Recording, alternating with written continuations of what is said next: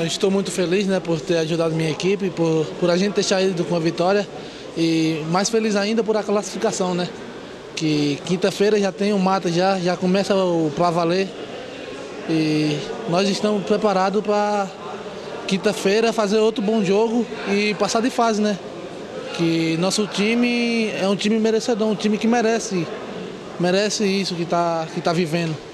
E só tenho que agradecer a Deus por tudo que está acontecendo, por, pelas vitórias, pelas glórias que tem acontecido para nós. E é isso aí.